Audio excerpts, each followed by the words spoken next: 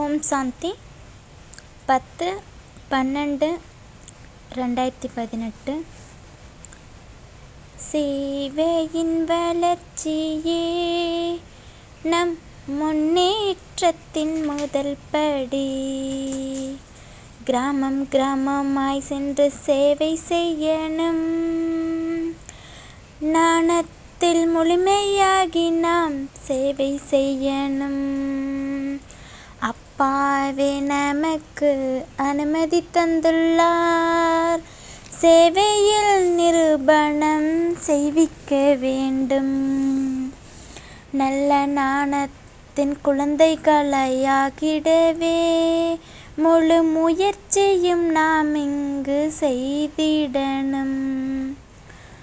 புத்தியின் மூலம் பழைய தேகத்தை மறந்து கொண்டே செல்லணும். இந்த தேகம் உட்பட தேகத்தின் உணர்வுகளை ஒரு நொடியில் விட்டு செல்லணும். நம் பரந்தாமம் என்னும் வீட்டை அடிக்கடி நினைவு செய்து செய்து நாம் பார்க்கணும். இந்த மரணலோகத்தில் இருந்து கணக்கு வழக்கை முடித்து மகிழ்ச்சியாய் அமரலோகம் செல்ல வேண்டும். தேகத்தில் இருந்தாலும் நாம் பிச்சைக்காரர் போன்று ஆக வேண்டும். இந்த தேகம் நம்மளோடது கிடையாது என்பதில் முழுமையாக பயிற்சி செய்ய வேண்டும். நான் ஆத்மா என் தந்தை பரமாத்மா.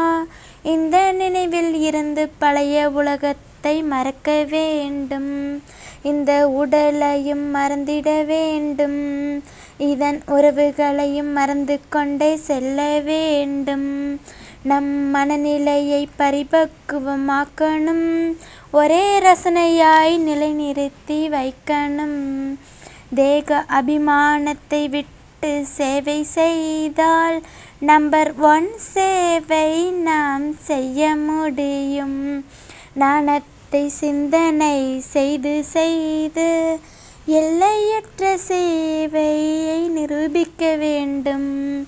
யோக நிலையில் இருந்து நாம் கர்மம் செய்யக்கூடிய கர்மயோகி குழந்தைகள் நாம் சாதாரணமாக இங்கு நின்றாலும் நடந்து சென்று கொண்டிருந்தாலும் கைகளால் வேலை செய்தாலும் மற்றவர்க்கு நம் ஆன்மீக பர்சனாலிட்டி தெரிய வேண்டும்.